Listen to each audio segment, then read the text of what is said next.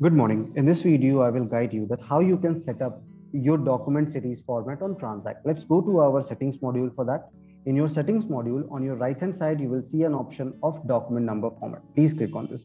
Once you will click on this document number format, you will see all the list of documents for which you can set up a document number format. So how you can add a new document format. Click on this add new series. It will ask you to put a new name. Like earlier, we have added already purchase order six so it will it will automatically take purchase order series 7 you can very well go ahead and change it according to your requirement.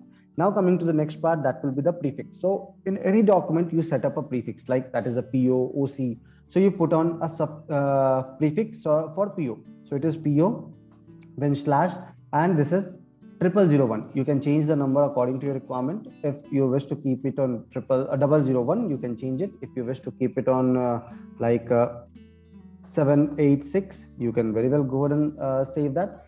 So just have a look. Just below it have provided you an instruction that how you can set it up. You can see this video from this play option and then after you can save this particular document series format. And please check this particular document format series have been saved.